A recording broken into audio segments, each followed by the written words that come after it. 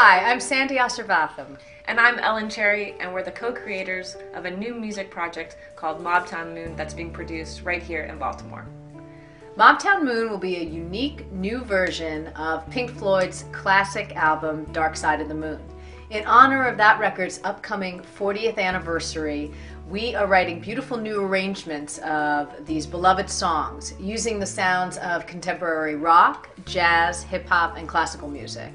Our recording and performances will feature more than a dozen great Baltimore based musicians, uh, names that you know already and names that you will know. And you can be a part of it too. We've partnered with the Hearing and Speech Agency's Baltimore Soundscape Project. Together with HASA, we invite Baltimore citizens and visitors of all ages to help us record the quintessential sounds of Charm City. It could be a foghorn in the inner harbor or an Arabber selling fruit. It could be a noisy, chaotic place like an emergency room on a Saturday night or a quiet moment in Druid Hill Park.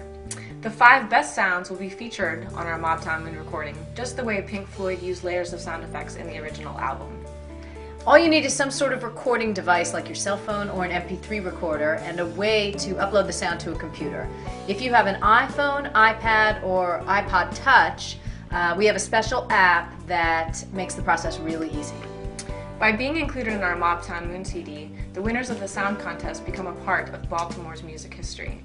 But all participants will be helping HASA build a lively, colorful, fascinating map of our city's unique sound print. For more information and a list of sound clip ideas to get you started, you can go to www.mobtownmoon.com backslash soundscape. The contest runs from May 15th until June 30th, so get out there in the sunshine or the moonlight and start recording.